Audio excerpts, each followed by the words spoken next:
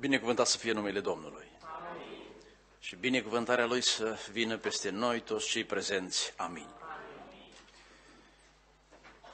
Domnul mi-a pus pe inimă ca în serile acestea de studiu să împărtășim o tematică intitulată Curente străine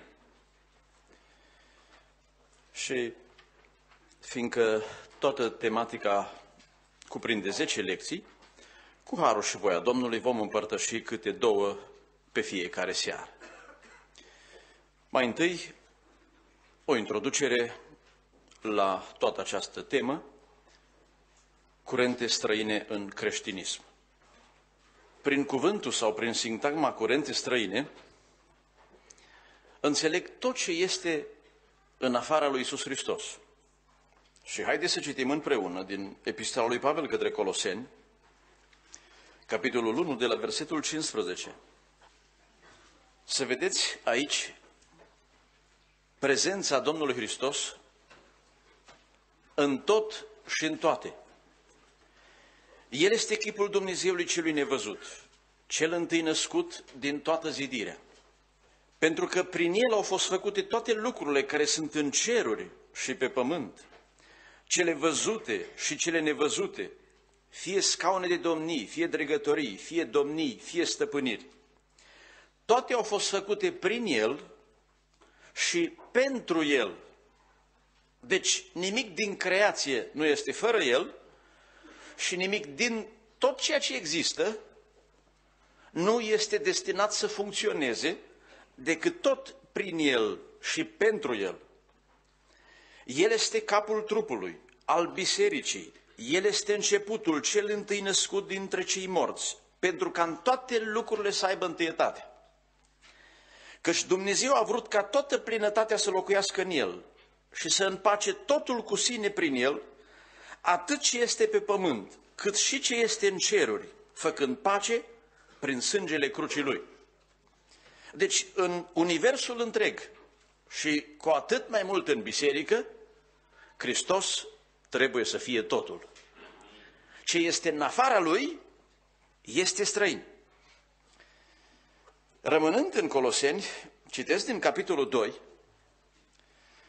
de la versetul 6, unde scrie Astfel, dar după cum ați primit pe Hristos Iisus, Domnul, așa să umblați în El, fiind înrădăcinați și zidiți în El, întăriți prin credință după învățăturile care v-au fost date, și sporind în ea cu mulțumiri către Dumnezeu.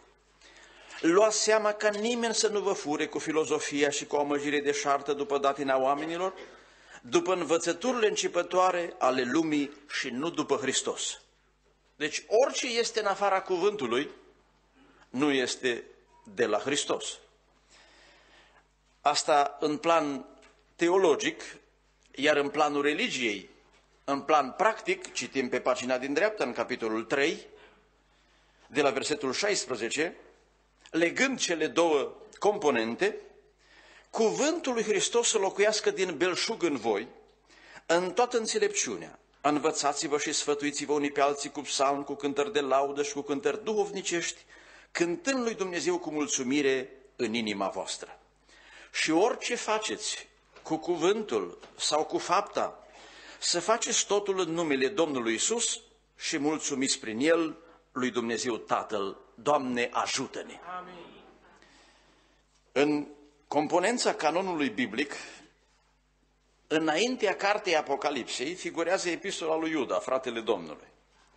Deschideți, vă rog, la ea, la pagina 1204, fiindcă vreau să citim de la versetele 1 la 4, un pasaj la care noi facem referire la păstrarea credinței, dar asta poate fi interpretat puțin deplasat dacă prin credință înțelegem o doctrină, o dogmă sau chiar o organizație.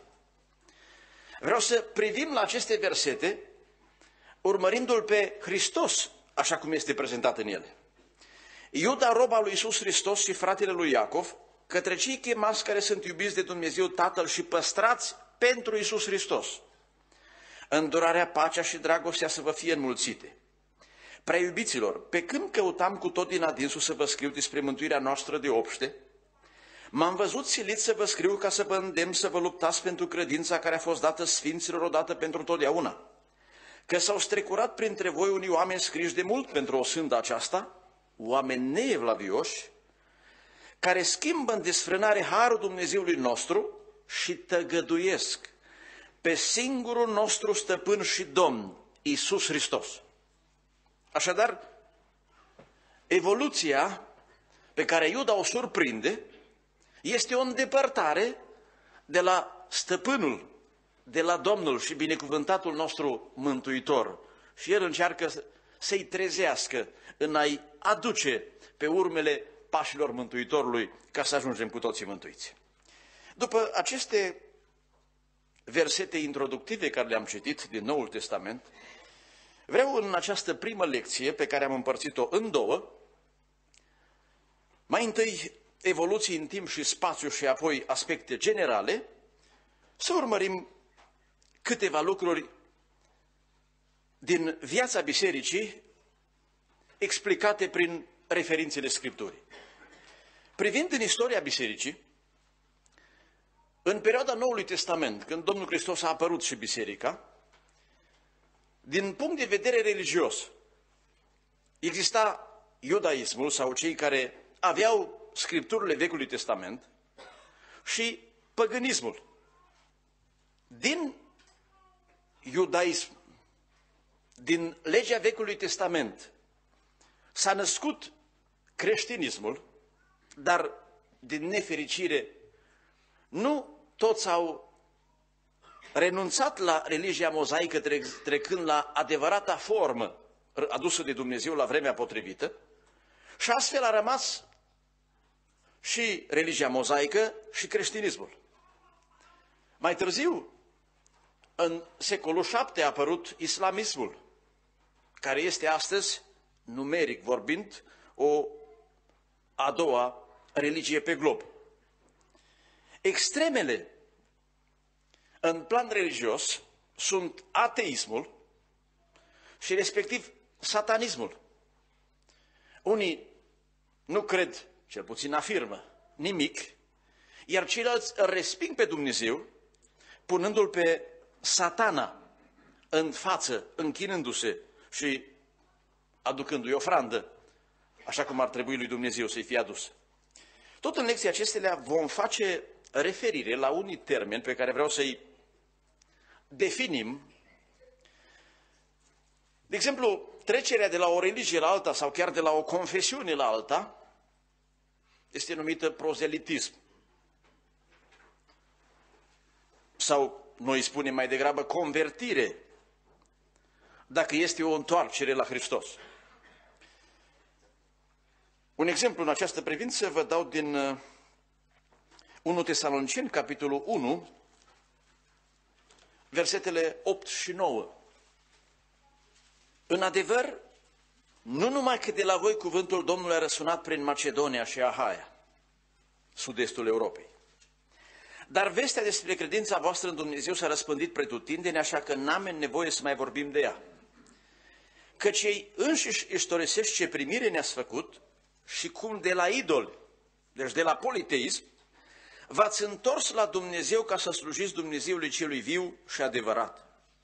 Citim și 10. Și să așteptați din cerul pe Fiul Său, pe care l-a înviat din morți pe Iisus, care ne izbăvește de mânia viitoare. Avem de-a face și cu sectarismul. Un asemenea caz citim din Fapte, capitolul 5, din expunerea lui Gamaliel, versetul 36. Căci nu de mult s-a evit Teuda, care zicea că el este ceva și la care s-au alipit aproape 400 de bărbați. El a fost omorât și toți cei ce îl urmaseră au fost risipiți și nimiciți.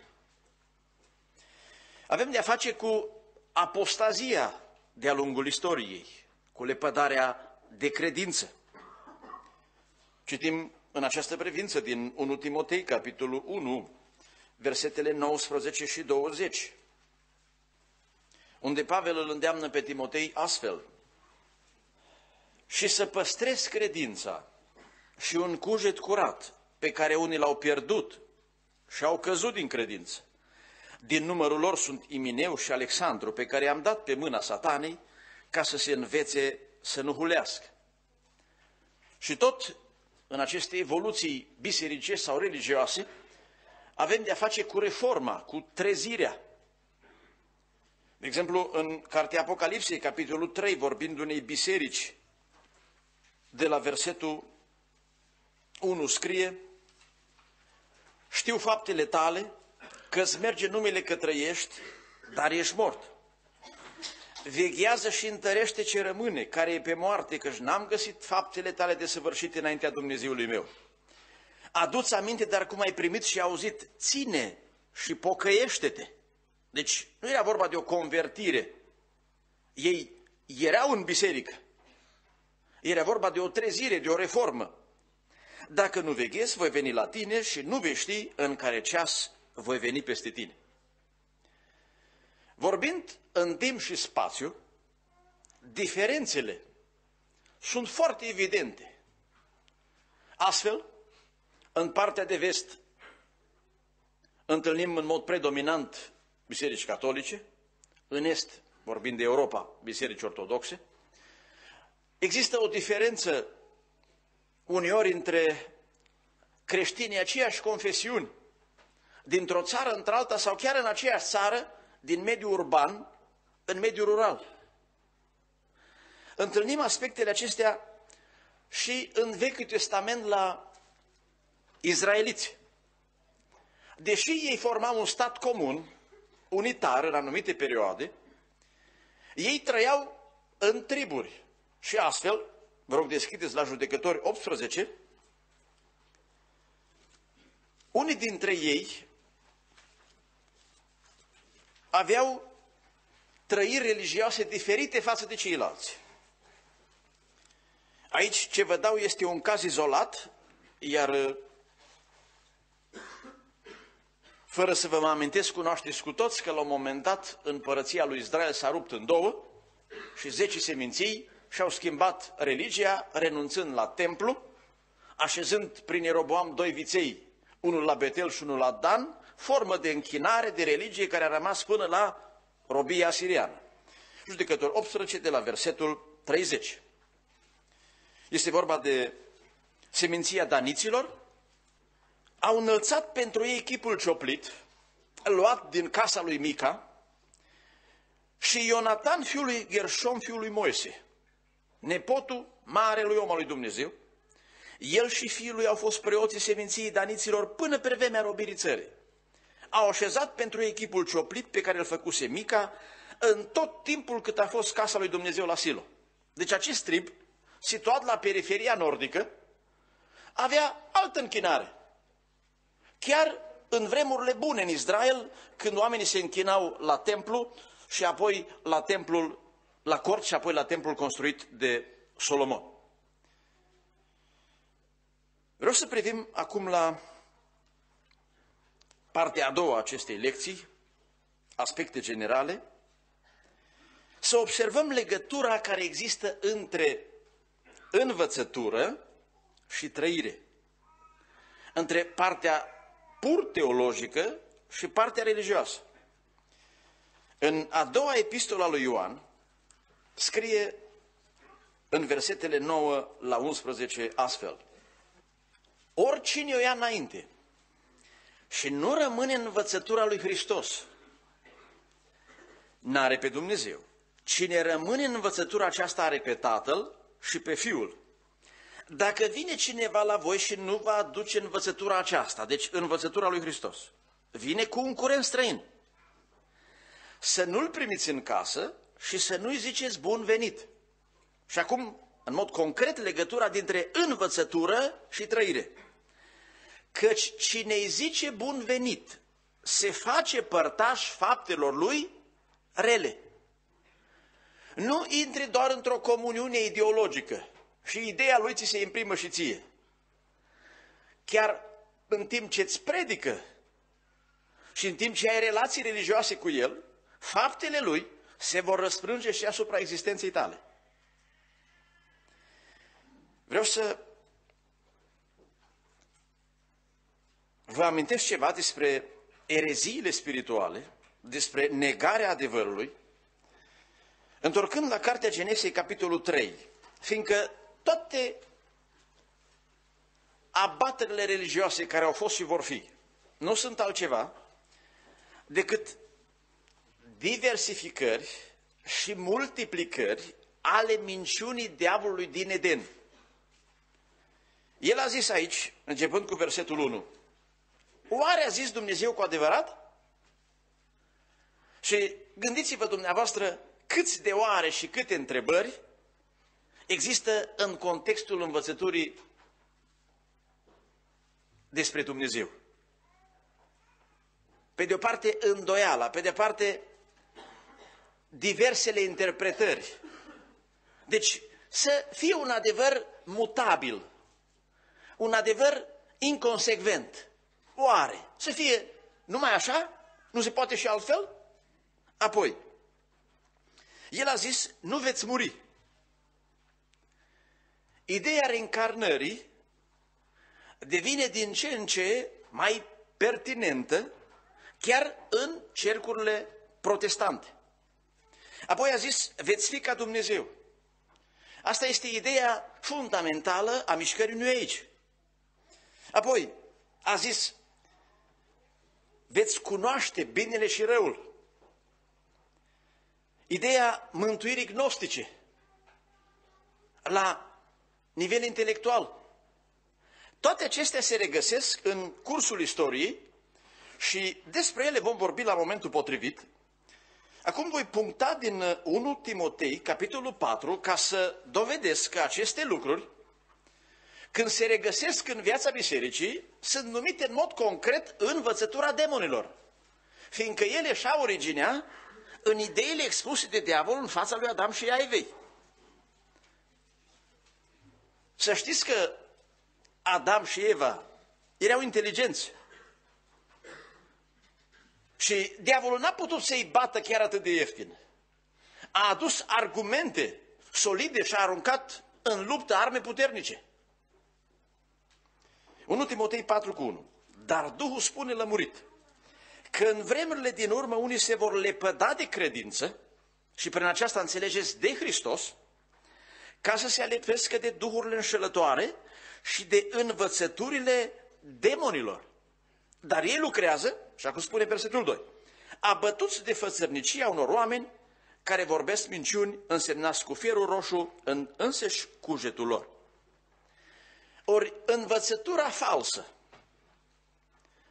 curentele străine, trebuiesc distruse, în primul rând, prin o învățătură bună, sistematică, temeinică. Tot ce este în afară de Hristos trebuie învins prin a-L cunoaște exact pe Hristos. Și cunoscându-L pe El, de fapt cunoști tot ce este în afara Lui. A spus Domnul Hristos în Ioan 17 cu 3 și viața veșnică este aceasta să te cunoască pe tine, singurul Dumnezeu și pe Iisus Hristos. Dar Iisus Hristos este copia fidelă a Tatălui. Și mai jos notează de la versetul 6, Domnul rugăciunea sa, le-am dat cuvintele tale și ei te-au cunoscut. Deci prin descoperirea cuvintelor pe care tot Dumnezeu ne le dă și ne descoperă prin Duhul Său, noi devenim conștienți, îl înțelegem, îl realizăm și putem apoi, după cum spun versetele de acolo, să trăim în lume, în mod intangibil, fără să fim afectați de ea. Cât privește trăirea păcătoasă, rămânând aici citesc versetul 6. Dacă vei pune în mintea fraților aceste lucruri, ceea ce vrem noi și frații atunci când ne adunăm la slujbă, vei fi un bun slujitor al lui Hristos Iisus, fiindcă te hrănești cu cuvintele credinței și ale bunii învățături pe care ai urmat-o până acum. Dacă ne hrănim cu un cuvânt sănătos, vom ajunge să ne dezvoltăm armonios și să creștem spre maturitatea în Hristos, alimentându-ne cu învățătura lui Hristos. Privind la comparațiile care s-ar putea face între creștinismul autentic și tot ce este în jur, oricât de variat ar fi paleta religioasă, vom regăsi și în alte religii anumite standarde, anumite norme morale. De exemplu, în Coran există moralitate. A existat la farisei un statut și o formă de neprihănire, dar acestea nu sunt echivalente cu neprihănirea care se găsește în Hristos. Pavel, care a fost un apogeu al fariseilor, a spus, eu am renunțat la statutul meu și la starea mea de neprihănire, zice el în Filipen 3, ca să fiu încorporat în Hristos și să-mi fie atribuită neprihănirea Lui. De aceea, Biblia, în privința faptelor, nu-l acceptă pe om nici fără fapte, dar nu-l acceptă nici cu faptele lui bune. Haideți să amintim câte o referință pentru aceste situații. În Iuda 4, un verset care l-am citit deja în această seară, era scris că s-au strecurat printre voi unii oameni. Scriși de mult pentru o sândă aceasta, oameni neevlavioși, care schimbă desfrânarea Harului Dumnezeu. Oameni care cred că mântuirea nu implică fapte. Stau între noi, se o spătează de-a binelea, ba încă ei pot să fie și implicați în lucrare, dar deschideți la Galaten 2, unde vom observa că nici un om care crede că și prin propriile puteri poate să fie inclus în Hristos, nu are șanse. 2 cu 15 și 16. Noi suntem iudei din fire, iar nu păcătoși dintre neamuri, zicea Pavel. Totuși, fiindcă știm că omul nu este socotit neprihănit prin faptele legii, ci numai prin credința în Isus Hristos. Am crezut și noi în Hristos Isus ca să fim socotiți neprihăniți prin credința în Hristos, iar nu prin faptele legii, pentru că nimeni nu va fi socotit neprihănit prin faptele legii. Vreau să notez în concluzia acestei introduceri căci creștinism înseamnă Hristos. Rămân pe aceeași pagină și citesc versetul 20, unde tot Pavel declară. Am fost răstignit împreună cu Hristos și trăiesc.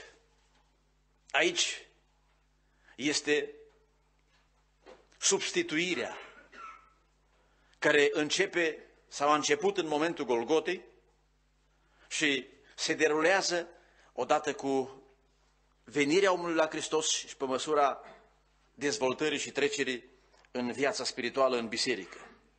Dar nu mai trăiesc eu. Asta înseamnă că nici măcar din mine,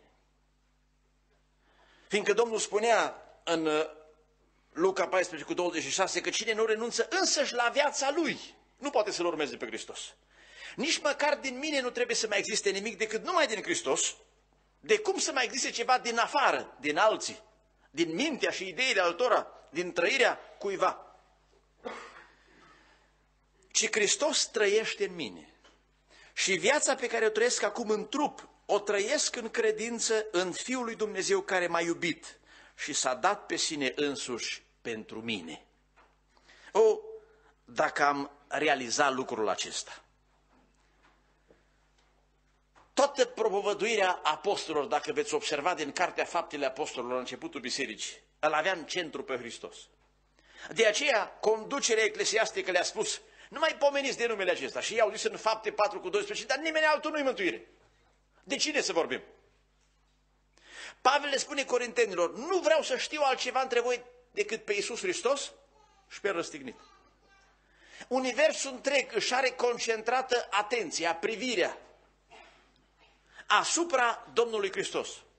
El este cel care unește cerul și pământul, rezolvând nu doar afectarea care s-a produs prin căderea omului, fiindcă mai întâi a avut loc instigarea la rău în ceruri, rezolvă și problemele în ceruri. De aceea, tot ce este în afara lui, în gândire, în vorbire și în trăire este curent străin. Și în serile astea, cu astea vom avea de-a face. Să dea Domnul să le îndepărtăm ca să trăim prin Hristos și să fim umpluți de Hristos, ca într-o zi unirea noastră cu Hristos să trăiască, să fie la o dimensiune cerească și eternă. Și cu El doar vom fi incluși, încorporați în Dumnezeu. Însă, însuși El avertiza în Matei 24 că vor veni Hristos mincinoși. Adică anumite forme diabolice care vor încerca să elasticizeze, să dea altă dimensiune lui Hristos și să fim cuprinși în acele forme. Și vor înșela, spunea Domnul, pe mulți. Că diavolul știe că asta este ideea fundamentală, centrală și totală a Scripturilor. De aceea și el lucrează sub masca aceasta. Sub masca lui Hristos și a lucrătorilor săi. Ne oprim aici cu prima lecție și fiindcă timpul ne permite, se poate cânta sau chiar face o rugăciune și apoi vom continua.